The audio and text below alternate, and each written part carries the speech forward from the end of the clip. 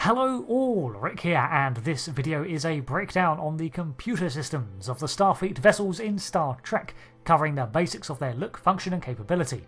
The LCARS computer system is an acronym for Library Computer Access and Retrieval System, and is the primary operating platform for the computers of Starfleet and a standardized one used throughout the Federation.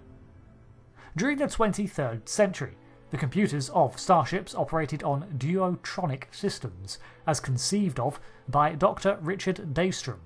This system replaces the prior ones, which were already the most advanced computers produced by humans, as noted by the complexity of the NX-01's main computer, which was considered one of the most advanced ever made. Duotronics were not only superior, but rather comparably compatible with the prior generations of technology, leading to an easy upgrade and conversion of existing ships throughout the 2240s, a key factor in its success. The non canonical description of duotronic systems is a form of quantum computing that is described as the formula for the relationship between subatomic particles and data processing. We do not know what the actual operating system that ran on starships was called, but in the Kelvin timeline it was referred to as PCAP SYS. By 2268, the duotronic systems of Starfleet vessels had seemingly reached an apex, as Daystrom had been pioneering his multitronic system for main starship computers. However, this system took numerous prototypes to establish and eventually produced an artificial intelligence known as the M5 unit, the first working model based on the human mind. Unfortunately, the machine was unstable, and the Wargames incident escalated into the loss of several hundred officers and the severe damaging of the Constitution class USS Lexington and the USS Excalibur. The machine was eventually talked down and self terminated, further displaying its unsuitability as a replacement for the main computer system of a Starfleet ship. The Multitronic system would not see further development, and became added to the long list of abandoned projects, unless you want to include certain mentions in books and such where it was continued. Duotronics, however, continued to function as the basis of Starship computer cores, although the interface technology was adapted with numerous overhauls to ship design through the turn of the century, but the efficiency and operating of the computer systems remained pretty much consistent, with bugs and errors being ironed out as they were uncovered. Eventually, however, these systems would reach a zenith and a new alternative was devised. Instead, Starfleet opted to develop new technology, one that was a complete departure from duotronic methods. Isolinear systems, supported by an optical data network system throughout a vessel. These new computer cores were faster and could interpret verbal commands with ease based on desired and predicted extrapolations. You can see the level of advancement on display every time a person asks the holodeck for something, and the computer generates it without fuss or specifics. Some of the earliest vessels to feature isolinear technology were the Excelsior classes towards the end of the century, but duotronic systems would not be completely decommissioned until 2320. I have already covered the nature of isolinear chips in depth, but suffice to say the amount of information stored in an isolinear form far exceeds that of the capabilities of a duotronic computer. The two systems are not directly compatible, however, but as Starfleet developed both, conversions and adapters are not hard to come by, and information can be freely downloaded wirelessly from one system and uploaded to the other easily enough, just don't expect to be able to plug an isolinear chip into the Constitution class Enterprise and expect results. With the overhaul of technology moving forwards and duotronic systems being left behind, the interface with the main computer was also updated with a new interface display known as LCARS, but not immediately, as we can see on the bridges of ships such as the USS Stargazer NCC 2893 and the Enterprise C, the older look of selected blues and greens remained, and the consoles resembled far more those of the Constitution refit era.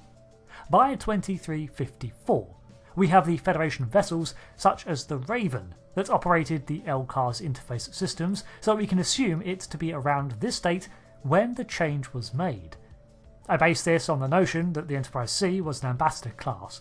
Starfleet would not have neglected such a new development in a prestigious vessel had LCARS been in existence when it was commissioned.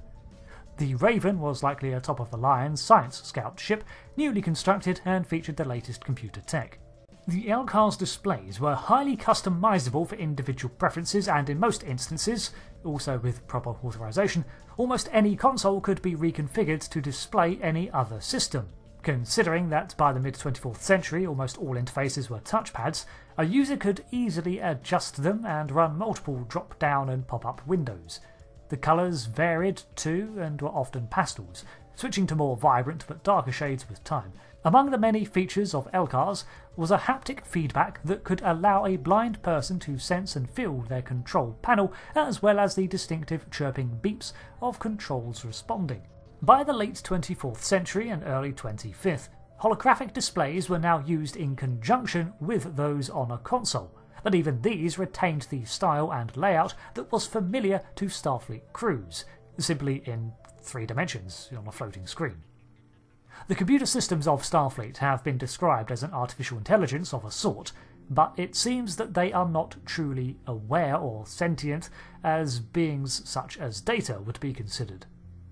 For example, the main computer displays no self preservation instinct nor desires of its own but it is advanced enough to respond to philosophical questions and extrapolate complex ideas within seconds. In both the Halo and Mass Effect universes, there is a distinction made between these sorts of intelligences, with true aware and sapient programs referred to as true AIs or smart AIs, while the sort of intelligence that is still restrained by programming and only simulates the affectations of life is referred to as a virtual intelligence or dumb AI. The same is true of the main computers of starships, because although they can produce complex patterns of reasoning and adapt, they can only do so based on the knowledge they have in their programming. They do not formulate ideas of their own, drawn from imagination, as it were. The information stored in the main computers of a starship was vast, with pretty much the entire Federation archive of knowledge at the crew's disposal, including the cultural works of thousands of worlds.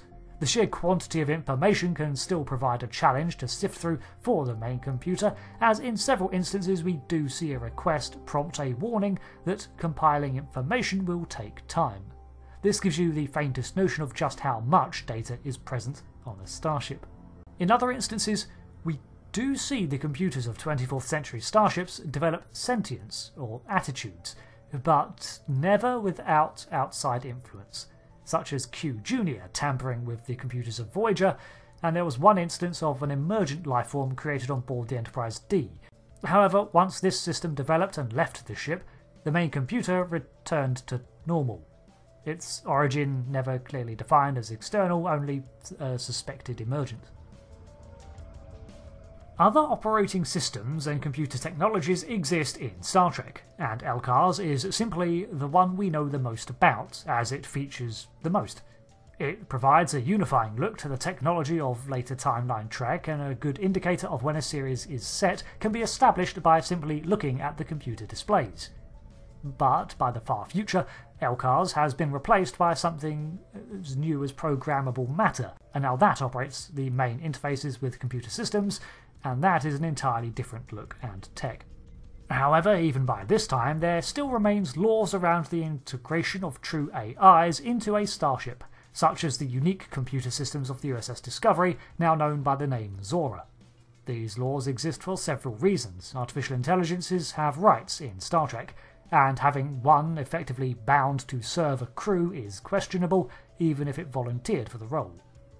On top of this, there is the potential unreliability that is introduced with free will in a system that needs to be reliable, so it's generally considered best to sidestep these issues altogether.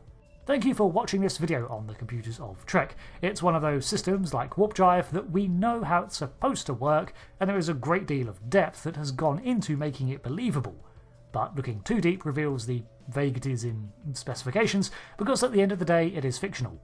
Hence terms like quads for data storage, which do not have a canon comparable. Anyway, thanks again for watching, and I'll see you next time. Goodbye.